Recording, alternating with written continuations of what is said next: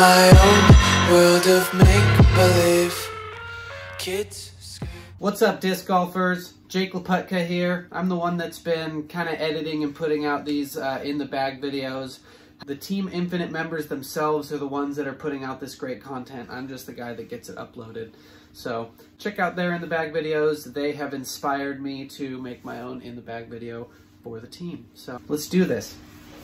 I'm gonna start off with uh, accessories. I think that's kind of the best thing. Um, Got my Infinite Discs waffle towel. These things are sweet. Gotta have that in the bag. Can't just have one towel. Oh, I've got this other towel. Karen Anderson from Salt Lake, thank you. She told me it would be the best towel ever. She was right. This thing has been on my bag ever since I got it. The bag itself, the Innova Adventure Bag. In a tournament, I definitely like this bag. It's simple. Don't have to carry too much. Stuff's falling out of my bag. Also is very comfortable. My wife, Misty, love her to death, likes to caddy for me, and she needs a good comfortable bag. Sits very nicely on the back. Highly recommend trying one of these out. I love this bag. Falling onto the ground, my clipboard has been used many, many a time. Stickers on it from CBSF sticker. I got my name on it. Yeah, love it. Great thing to have for tournament. I carry three minis, which is arguably not enough. I lose them. They stay with me. Three. I got one from my wedding. It's kind of, the sticker's kind of coming off, but if you were at my wedding, you probably have one of those. I've got my Mean Every Shot mini good story behind this. Hopefully I'll tell that someday. And then got to get the Metal Mini, the Infinite Bomber, fresh, new this year. Can't wait to use this thing. Maybe uh, throw it at some people. I wouldn't do that. I don't condone violence. This is not a very big stack of discs. I play a simple game. A wide variety of shots. I bring only what's necessary, what's confident for me. Sometimes it's better to throw the unconventional shot that you're confident with than to try to force a shot with a disc that you are not confident with. So everybody starts with putters, so I'm starting with drivers. Number one, anybody who's been playing these C tiers with me in the last few events has seen this disc so many times. This disc has gotten most of the birdies. It's really overstable, not overstable, it's a stable destroyer. It's always gonna fade. This thing, forehand, backhand, everywhere. I've been picking it up on short holes, long holes, this has been my confidence disc. Even when it's like not the right shot, I've been picking up this disc and getting the birdie, just getting it done. Get it to the basket, get the birdie. That's this disc. Best destroyer in my bag right now. Destroyer, have had this thing forever. This thing was in my bag for 2014 Am Worlds and it's still stuck around. And I have a backup, brand new backup. Parting line, you know what I'm saying, nerds, disc golf nerds, is way high. Kind of gummy. This thing bombs. It's so nice. It's very special to me. Hole one of the final nine Am Worlds before I took down the victory. This thing, bought it from Rustin recently, and he told me I had to throw it, so I started throwing it, and it bombs. This Pro Destroyer is going very far for me. Oh, that's gonna be really good.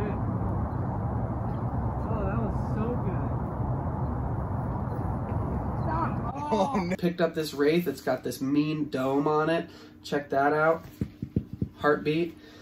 Very stable. I can throw giant hyzers with this thing. I love it. Great, great disc, the Wraith. Ooh. Fairway drivers. The only fairway driver in my bag, really. T-Bird. Star T-Bird. Throw this a lot for giant 400 plus foot shots. People are like, whoa, what'd you throw there? That was a bomb. I'm like, it was T-Bird. Very underrated. People think you can't get the distance. T-Bird all day. Chuck this thing super far. You know where it's going to go. I've learned most of what I've learned in disc golf throwing T-Birds. Best disc out there. You know, they're all the best. Boom. This slab, this clear one, we're going to have to cut. Freaking cat. Technical difficulties because my cat is being a cat. Next up, the slab. This thing is very, very overstable, strictly utility. Uh, it's rare that I find myself throwing a normal shot with this. It's usually some crazy trick shot, skip shot, something like that. Great disc to have for utility in the bag. I don't throw that disc off the tee because I'm too busy throwing Firebirds. I got my straighter Firebird and my Super Meat Hook 12 time Ken Climo Firebird. This one's the Sexton Firebird down here. Been breaking it in. Everybody hates me for throwing it. It's got this amazing team stamp on it. That's so beautiful, but I've had too many birdies with this thing to not keep throwing it. This thing's amazing. So this thing kind of goes straight a little bit, but I know it's going to fade. It's still a Firebird. great compliment to this guy that just doesn't go anywhere. Like I throw this thing and it just fights to the right, just like the slab, but it's not as fast, so I don't get as much action on the green. I like that. So I'll throw this off the T-pad when I, and then I'll use the slab for the utility shots. Whereas I used to just use a Firebird, but that slab is great. Utility, Gator. Don't really have to say much about this. Very, very overstable. Had this forever forever. Like 2013, I think I got this thing. Gator done, as I always say. DX Rock, old school.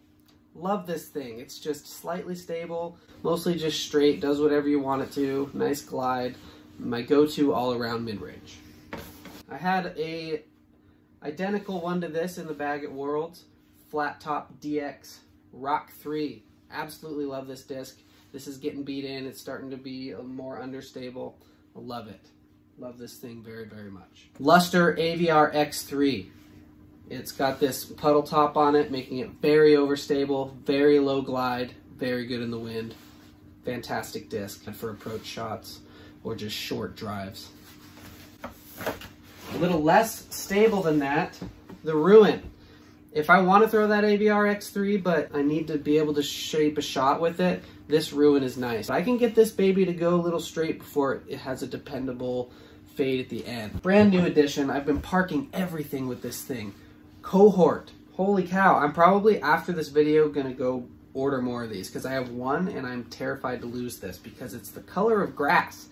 Now, you know, I don't throw a lot of green, as you can see, with all my discs behind me, but it's going under the basket, so got to keep that going, right?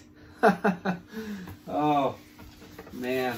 And last but not least, my putting putters. This, I never throw it. It's basically just there as a backup in case this guy falls off a cliff or whatever. But this is my next money putter after this guy dies. I like to use one putter. Throw it in the basket, don't miss. This thing is amazing.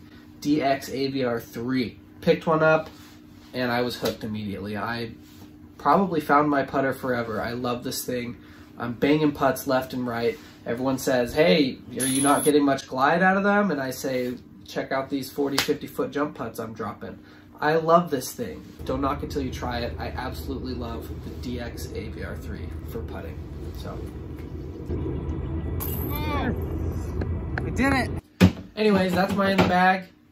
I can see why most of the team members went over the five minute limit because that is ridiculously short. I can't talk about my frisbees in that long. So anyways, hope you guys enjoyed it. Thanks for tuning in and we'll see you on the next one.